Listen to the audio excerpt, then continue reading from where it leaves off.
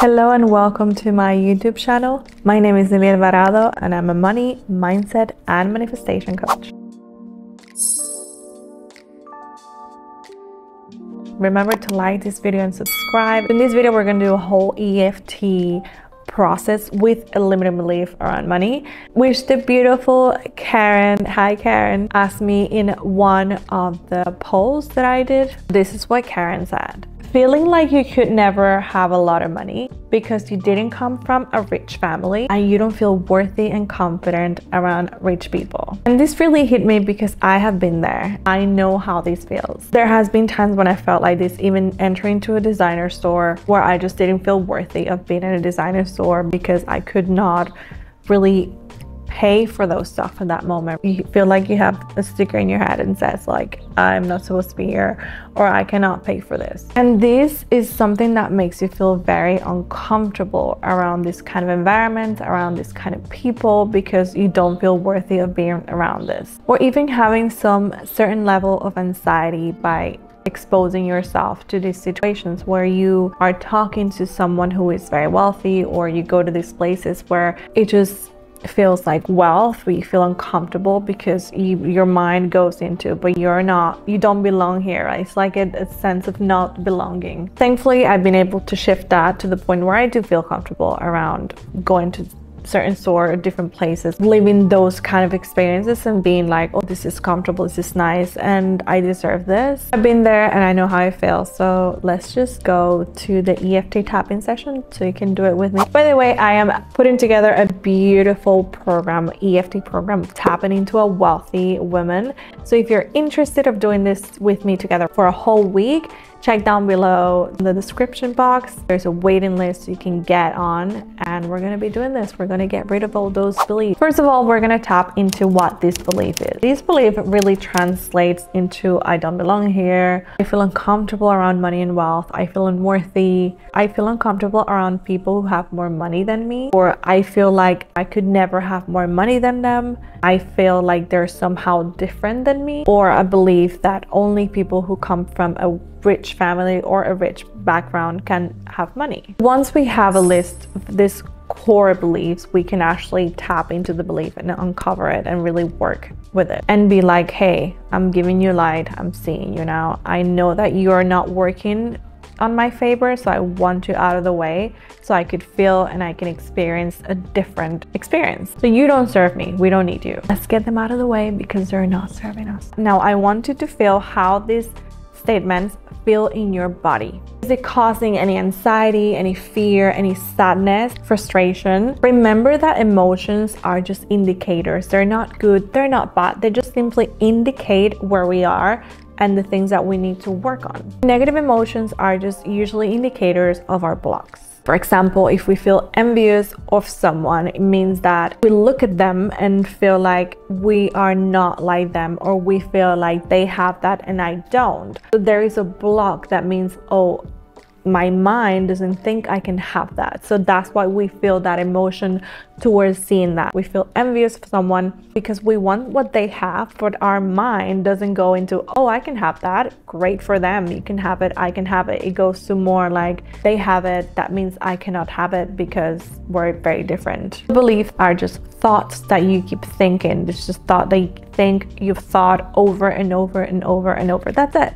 But we can always change them. Those beliefs that you keep thinking and thinking and thinking, it becomes reality. Your belief is what you expect. A root belief is something that you kept thinking that you saw and you believed that. Let's say when you were young, you saw that your parents believed something about money and you actually experience that today because you saw that growing up and you think that is the truth. But to be honest, that doesn't mean that is the truth. What it's true for you, it's not true for me. So that's how belief works because our minds and our beliefs are not the same. But the good thing is that as your beliefs starts to shift, your internal world starts to shift and so does the external because you believe something different and as you believe something different you create something new you create a new reality you create new thoughts, you create new actions that will take you somewhere different than when you were before. The external reality, which is what we live in the 3D world catches up to the internal reality at some point. But beliefs create a trigger emotional response in our bodies. For example, when you check your bank account, you feel anxiety because once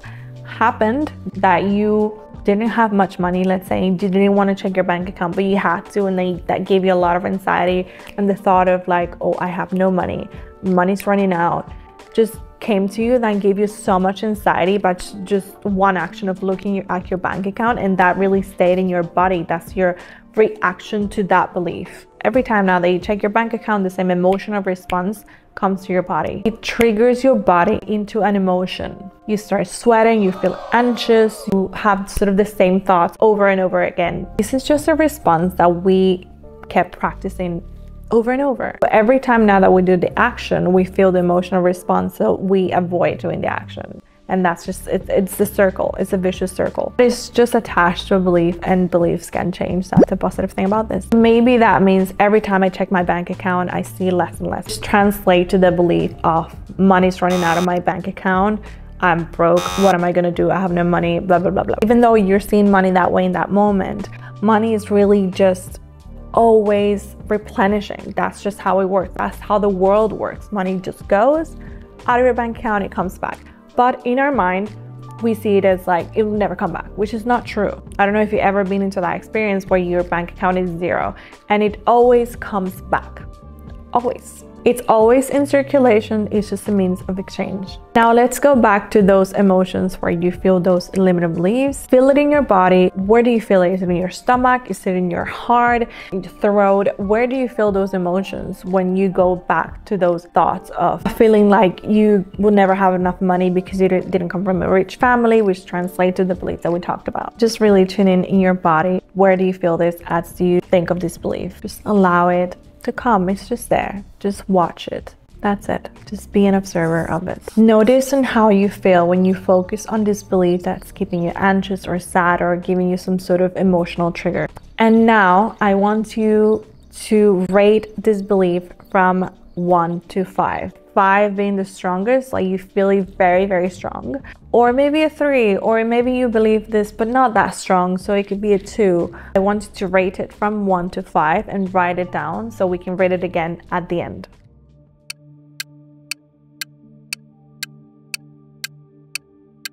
So we're gonna start with the karate chop point, which is here, and repeat after me.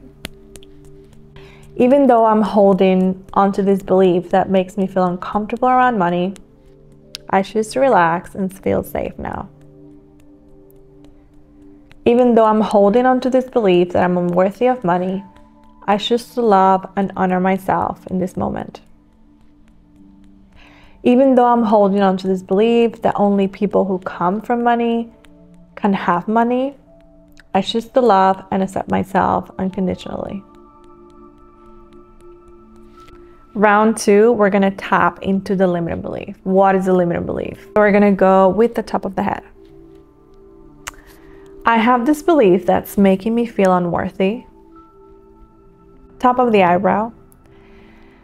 And that I feel uncomfortable around money and wealth. Side of the eye. Because somehow I learned this when I was growing up. Underneath the eye. That I wasn't worthy of money because I didn't have it. Top of the lip.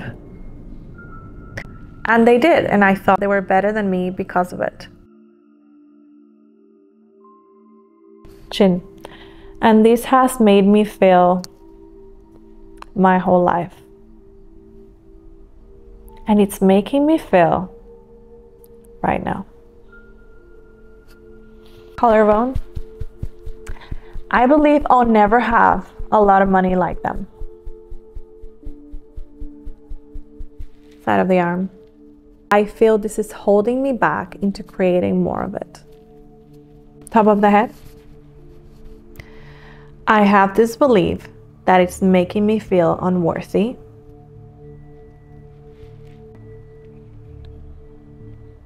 Top of the eyebrow. And that I feel uncomfortable around money and wealth. Side of the eye. Because somehow I learned this when I was growing up. Underneath the eye. That I wasn't worthy of money, of receiving money, because I didn't have it. Top of the lip. And they did have money, and that made me think that they were better than me because of that. Chin. And this has made me feel in the past, and it's making me feel right now. Collarbone. I have this belief that I'll never have as much money as them.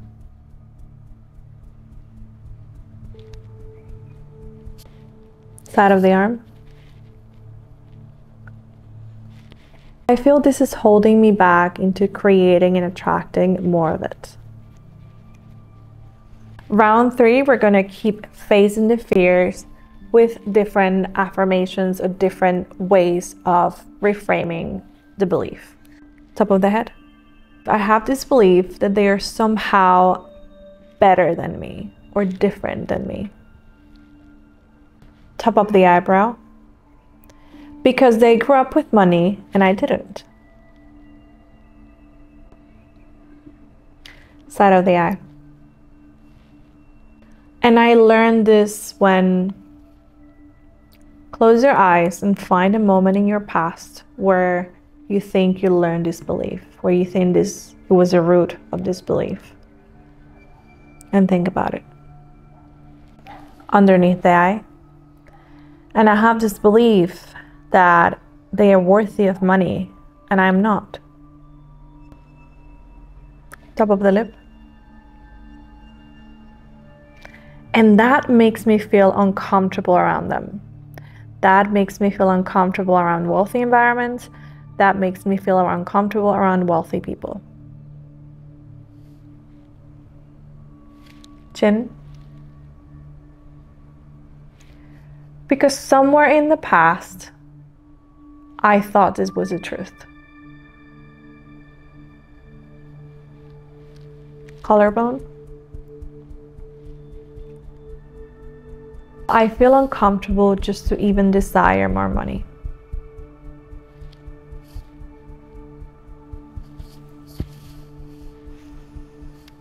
Side of the arm. And that makes me feel. Find a word that you feel identified with in this moment. Round four, we're gonna take that belief and really think if this is true or not. We're gonna challenge this belief. Ready? Top of the head. But then I ask myself, is this really the truth?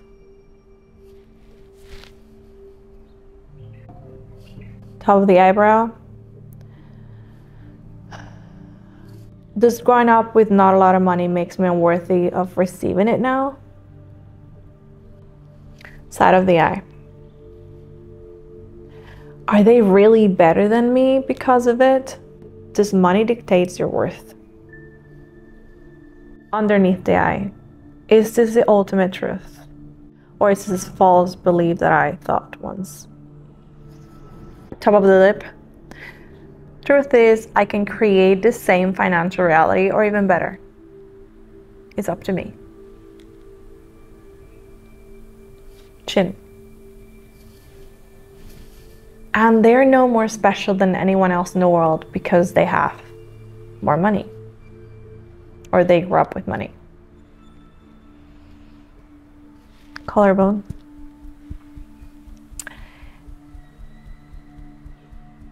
There are humans, human beings living an experience like me.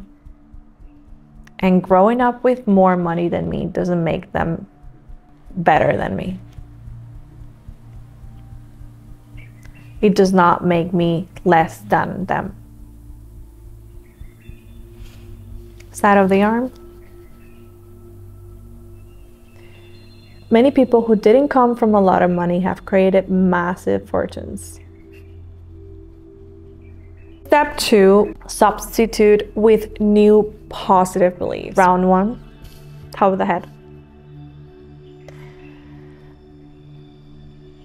From this moment, I choose to change this limiting belief and I choose not to believe it anymore. Top of the eyebrow. Because a lot of people who have not come from money are incredibly wealthy right now and I can do the same.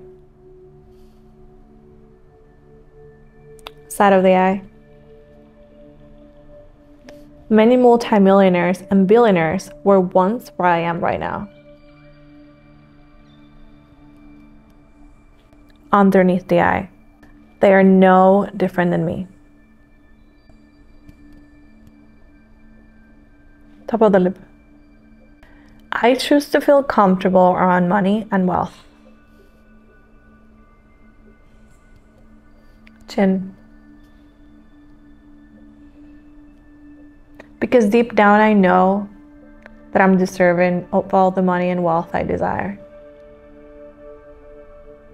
Collarbone. Deep down, I know that my financial reality does not dictate my worth.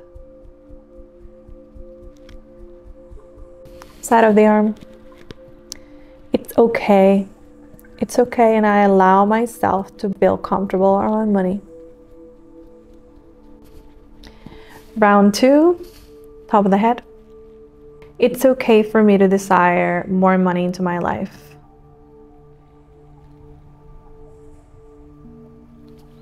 Top of the eyebrow. I'm willing to let go of these limiting beliefs that are not serving me.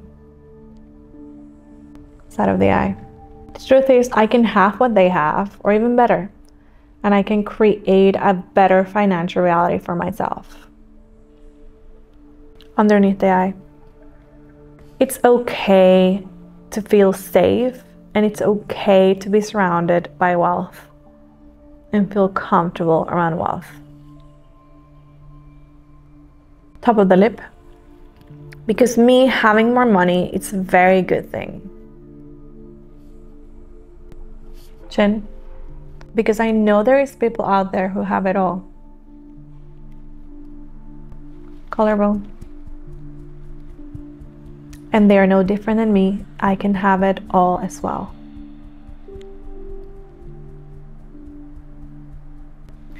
Side of the arm. I am ready to let go of this belief that is blocking my abundance. Round three, top of the head, last round, let's go. I'm starting to see differently and feel different about it. Top of the eyebrow. Now I know there's no reason for me not to be and experience abundance. Side of the eye. That it is okay to feel comfortable around money and people who has more money than me. Underneath the eye. That me having more money, it's an amazing thing. I deserve it. Top of the lip. And I get to have a lot of money as well.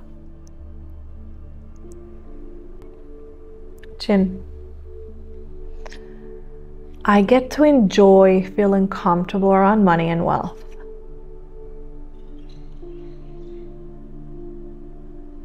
Collarbone. Because wealth feels like home, I'm meant to be wealthy.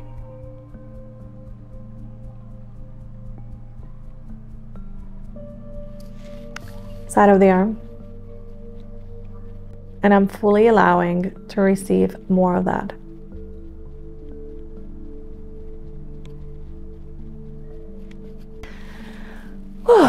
now, write down from one to five how strong this belief feels.